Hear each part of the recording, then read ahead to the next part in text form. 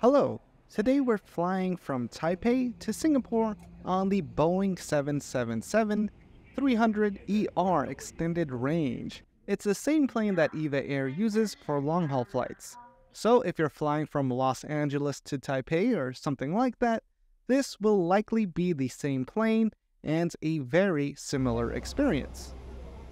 And we won't be flying in business or premium economy, but we will be staying humble and flying in basic economy.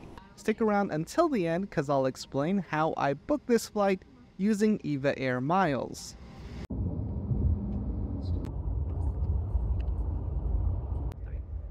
That's all the new stuff there? Yeah.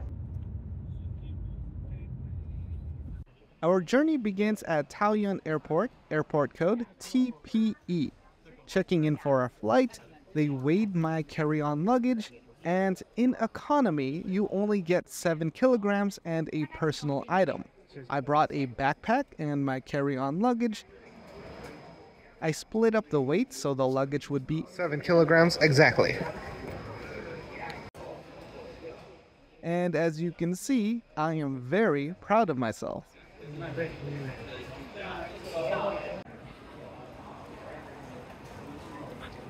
Now we just have to make our way through security.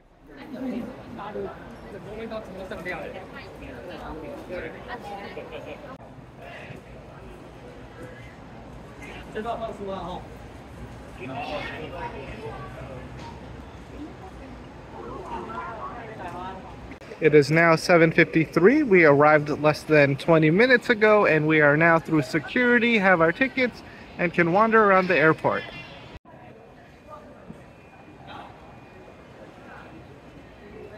Since it's early in the morning, we haven't eaten yet and we need some breakfast.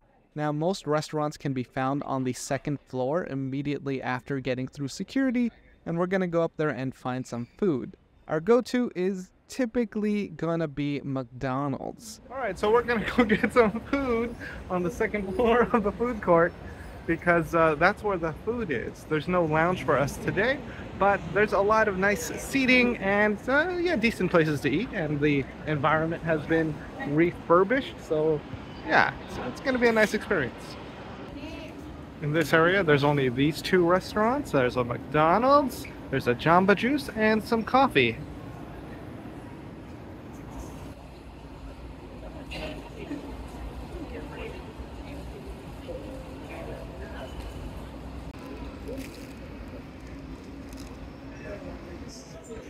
But since I live in Taiwan, getting Taiwanese food isn't really a priority. If it is for you, then th- you're in luck. There are a lot of Taiwanese options at Taipei Airport.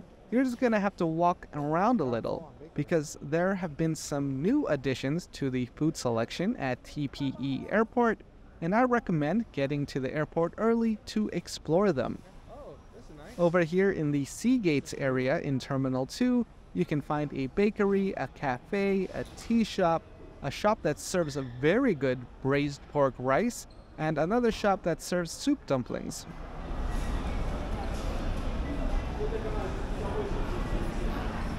All right, if you're in Taipei Airport, Wang's Broth. Get the braised pork rice. Bib Gourmand, so Michelin rated. That's the one. All right, we're here at Terminal 2, uh, TPE Airport, Taoyuan, and there have been a lot of upgrades as far as food and shopping. So don't waste your time at McDonald's like us. water, right? Yeah. Or anything else? No, that's it.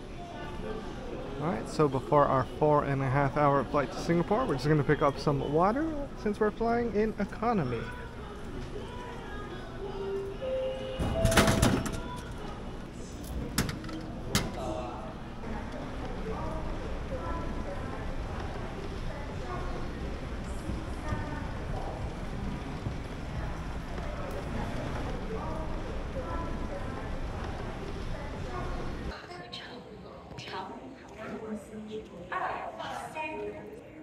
So each of the boarding gates here at TPE Airport are specially designed, and this one is all about movies. So it's worth it to get to the airport early so you can wander around, get some food, and experience all the different gates.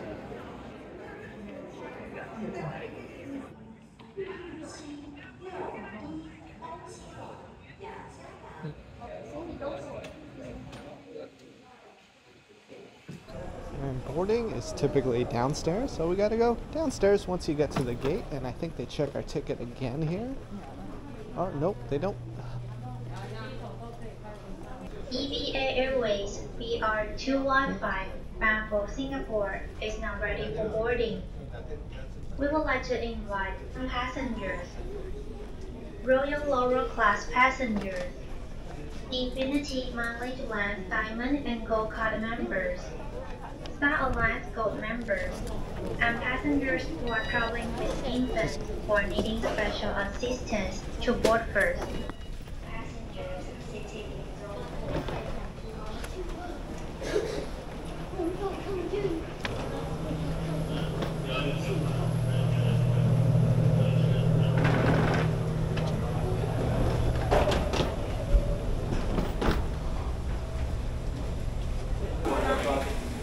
Get some earbuds.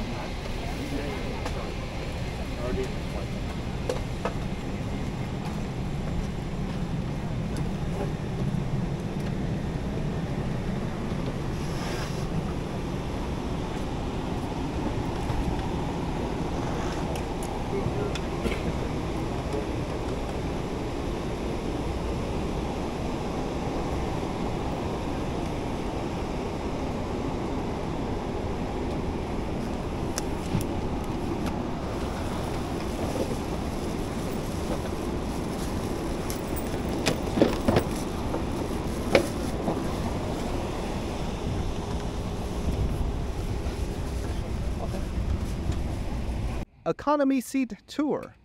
Alright, it's tough to get good footage in economy because you just don't have the space, so I did not get great footage. That walkthrough was it. Yeah, that that's it. Here it goes. I'm pausing it. You see it? That's the seat. It isn't very spacious, and if you are here for a long haul flight, be uh be ready to try and sleep through it.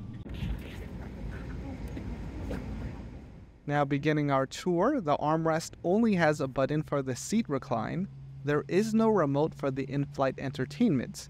The seat, however, does look like it's in good condition. Maybe they recently reupholstered them, but as for the seat cushion, it's definitely worn out.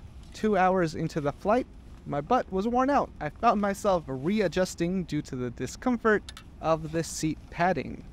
As for power sources, you get one USB outlet which is located at the bottom left of the in-flight entertainment.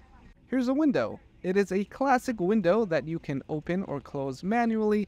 Upon closer inspection, you can see what's outside the aircraft. Yeah, that's technical stuff but like, hey, there, there's a window. I, I don't know what else to tell you.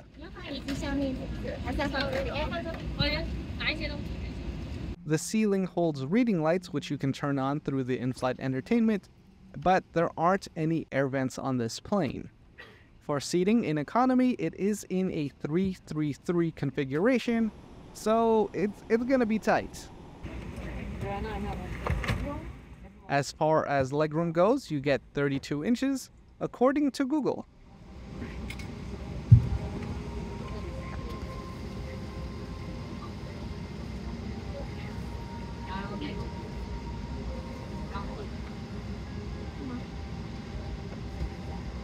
IFE. The in flight entertainment is pretty good. You can't connect your headphones via Bluetooth, so you'd have to bring your own wired headphones or use the cheap, uncomfortable headphones that Eva Air provides for free. Now, there isn't a remote for the TV in economy, but it's a very responsive touchscreen.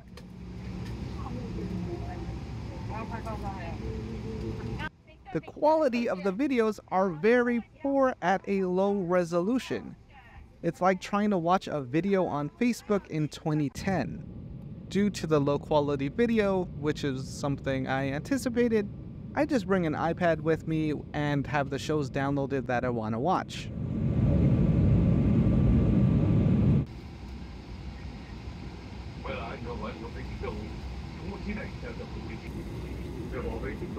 Don't forget, we'll make that.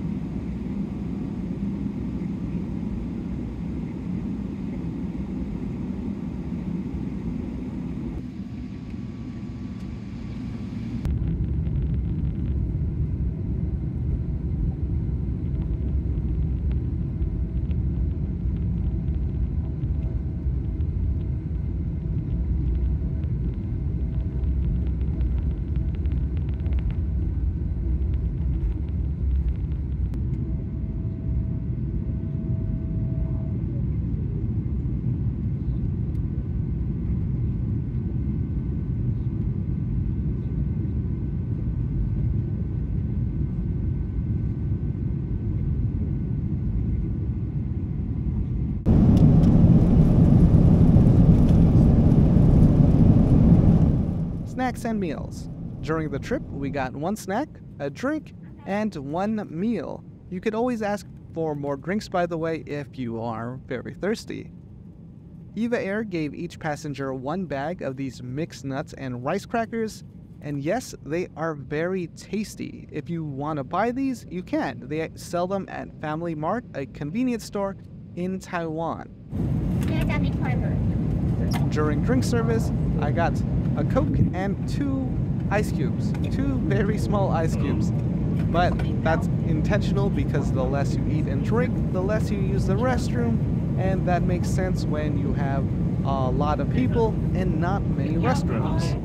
Since this isn't a long haul flight, we'll be getting just one meal, and that's okay, because the food isn't amazing.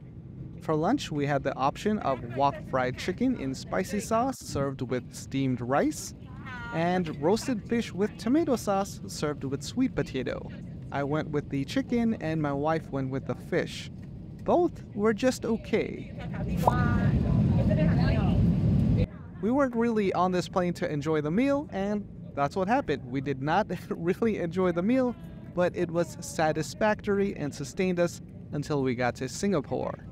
Although I really think this is something EVA Air could improve on significantly because there's a lot of good food in Taiwan and they have the resources to do that, and it's a very competitive route. So uh, if I were you, I'd probably look into Starlux or Singapore Air if you happen to be flying this route.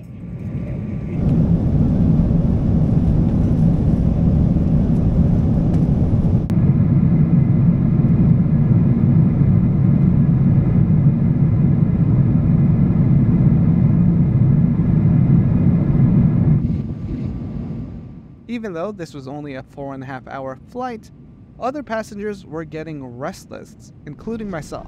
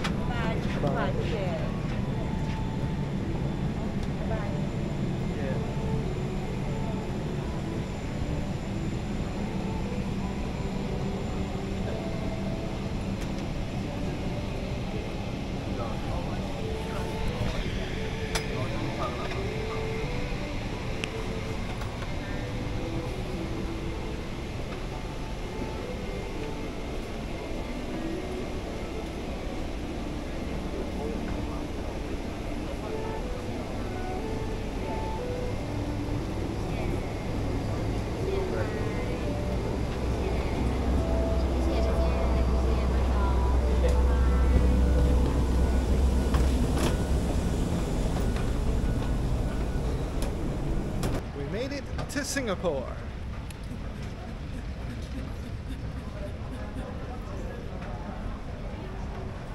Gonna use this in the video, No, just so you know. It's too late. There's no takeovers. there's never too late. It's always too late. Nothing is impossible. That's why they call me Dan. Too late, Ariola. No, no, no, no, no. Ah. And they call me never. This is too late. gonna be- Now, while walking to the immigration hall and seeing this big sign that I completely neglected because I was like, maybe this isn't for me, it's for everybody. You do need to fill out the Singapore arrival card, and you will need data to do that if you are on your phone. There is free airport Wi Fi, or if you don't have a digital device, there is a kiosk that will allow you to fill out the form. Now, the form does take a few minutes to fill out. And here's the pro tip if the line is pretty long at the immigration exit, you could just fill out the form there. It will take probably five minutes, and this line you see here took us about 20 minutes to get through. And that's it, we made it to Singapore. Now that we've cleared immigration, we have to make it into the city. There are several options at an affordable cost, but I decided to use the ride sharing app Grab. I downloaded it and set it up prior to arriving in Singapore, so I wouldn't have to stress about it while setting it up at the airport. Now, for this day, we are headed to the Hilton Orchard Road, and that cost us 23 Singapore dollars.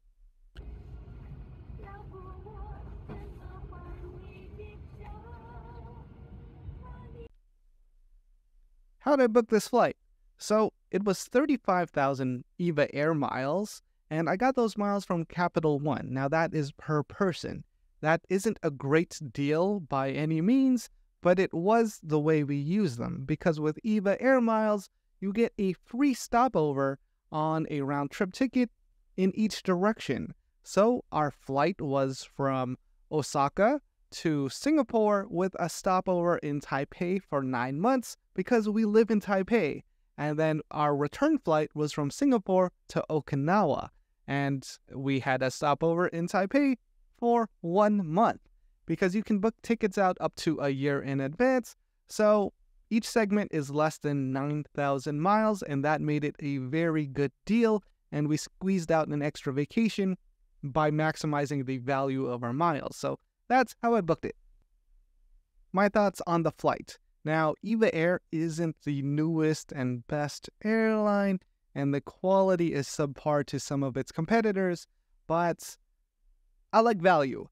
We got a good deal on the flight, so that made sense, and we wanted to go to Singapore, so it made sense. Now, on the same route, Starlux flies it and Singapore Airlines, and you might get a better experience there. Or if you want to go with even more value, you could fly with a low budget carrier because there are a couple of those too. But it really depends on how you want to maximize your miles or if you want to use cash. And for us, what made the most sense was EVA Air. Now, EVA Air is expected to make some refurbishments and have some newer planes in the near future. I'm hoping it's sooner than later, but otherwise, we'll continue using them if it's a good value. And I hope they don't change their award chart.